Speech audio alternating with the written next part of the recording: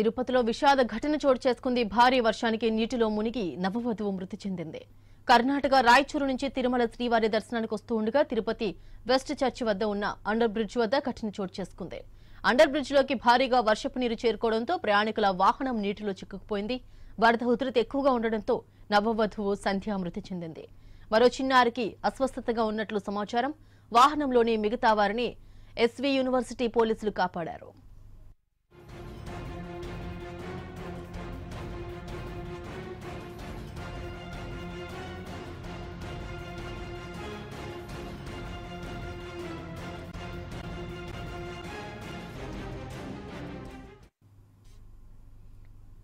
తిరుపతిలో విషాద ఘటన చోటు చేసుకుంది. భారీ వర్షానికి నీటిలో మునిగి నవవధువు మృతి చెందింది. కర్ణాటక రాయచూరు నుంచి తిరుమల శ్రీవారి దర్శనానికి వస్తూ ఉండగా తిరుపతి వెస్ట్ చర్చి వద్ద ఉన్న అండర్ బ్రిడ్జ్ వద్ద ఈ ఘటన చోటు చేసుకుంది. అండర్ బ్రిడ్జ్లోకి భారీగా వర్షపు నీరు చేరుకోవడంతో ప్రయాణికుల వాహనం నీటిలో చిక్కుకుపోయింది. వరద ఉధృతి ఎక్కువగా ఉండటంతో నవవధువు సంధ్య మృతి చెందింది. మరో చిన్నారికి అస్వస్థతగా ఉన్నట్లు సమాచారం. వాహనంలోని మిగతా వారిని ఎస్వి యూనివర్సిటీ పోలీసులు రక్షించారు.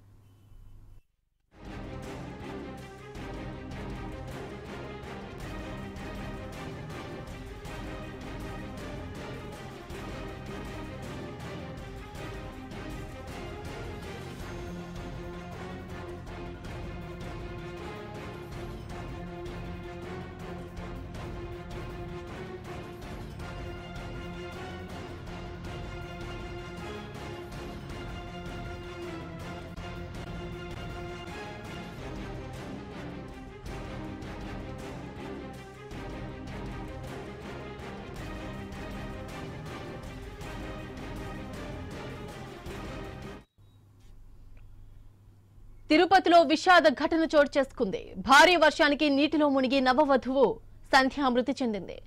కర్ణాటక రాయచూరు నుంచి తిరుమల శ్రీవారి దర్శనానికి వస్తూ ఉండగా తిరుపతి వెస్ట్ చర్చి వద్ద ఉన్న అండర్ బ్రిడ్జ్ వద్ద ఈ ఘటన చోటు చేసుకుంది.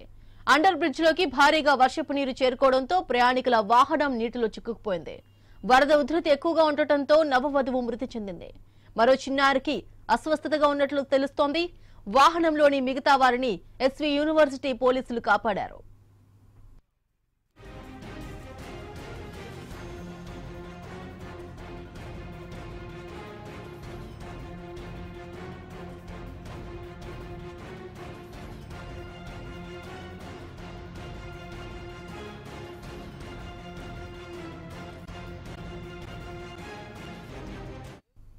అది ఘటనకు సంబంధించి మరిన్ని డీటెయిల్స్ మా ప్రతినిధి వర్మ అందిస్తారు. వర్మ?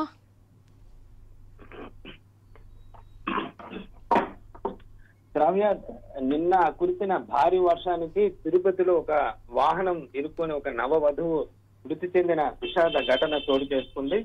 ఇక ఇందులో బాధితుల వివరాలకు వస్తే వీళ్ళంతా కర్ణాటక రాష్ట్రం రాయచూరు నుంచి తిరుమల శ్రీవారి దర్శనం కోసం అని చెప్పి ఓ ఏడు మంది కుటుంబ సభ్యులతో నిన్న రాత్రి అక్కడికి రావడం జరిగింది. అయితే తిరుపతికి సమీపంలో రాగానే తిరుపతి వెస్ట్ చర్చ్ అంటే ఎస్వి యూనివర్సిటీ పరిసరాల్లో ఉంటుంది. ఇక్కడ రైల్వే అండర్ బ్రిడ్జ్ కింద భారీగా వర్షపు నీరు చేరుకోవడంతో డ్రైవర్ ఆ నీటి లోతు అంచనా వేయకుండా అది దాటుకొని వెళ్ళిపోతున్న ఉద్దేశంతో ఆ నీళ్ళలోకి వాహనాన్ని పోనివ్వడం జరిగింది. అయితే వాహనానికి మించి అంటే దాదాపు ఆరు అడుగుల పైగా నీళ్ళు రావడంతో వాహనం ఇంకా ఎటు కదలలేక ఆ నీళ్ళలోనే ఇరుక్కుపోయిన పరిస్థితి అయితే ఉందని చెప్ప పరిస్థితి ఏర్పడింది. దీంతో వాహనంలో ఉన్న ఏడు మంది కూడా పూర్తిగా నీళ్ళలో మునిగిపోవాల్సిన పరిస్థితి ఏర్పడింది. దీంతో ఊపిరి ఆడక ఈ మధ్యనే పెళ్ళైన నవవధువు సంధ్య అక్కడికక్కడ ఆమె మృతి చెందడం జరిగింది. మరో చిన్నారికి కూడా తీవ్ర అస్వస్థతకు గురైన పరిస్థితి అయితే ఏర్పడింది. అయితే సకాలంలో ఎస్ యూనివర్సిటీ పోలీసులు వీళ్ళను గుర్తించి వీళ్ళందరినీ కూడా తిరుపతి రుయా ఆసుపత్రికి తరలించారు. ఈ ఘటన నిన్న అర్ధరాత్రి రెండు గంటల ప్రాంతంలో చోటు చేసుకుంది. అయితే అప్పటికే సంధ్య మృతి చెందింది. మిగతా వాళ్ళలో మిగతా వాళ్ళందరినీ కూడా పరిస్థితి అయితే నిలకడగా ఉంది. ఆ చిన్నారిని కూడా కాపాడగలిగారు. సకాలంలో ఈ ఘటన వెంటనే పోలీసులు స్పందించడంతో మిగతా వాళ్ళందరూ కూడా ప్రాణాలతో బయటపడిన పరిస్థితి అయితే ఏర్పడిందని చెప్పుకోవచ్చు. అయితే ఎస్ యూనివర్సిటీ దగ్గర ఈ అండర్ బ్రిడ్జ్ ఎప్పుడు కూడా వర్షం అది పూర్తిగా అది సిటీలో ఉండేది ఎక్కడో సిటీకి దూరంగా ఉండేది కూడా కాదు. సిటీ సిటీ మధ్యలో ఉన్న ప్రాంతం ఇది.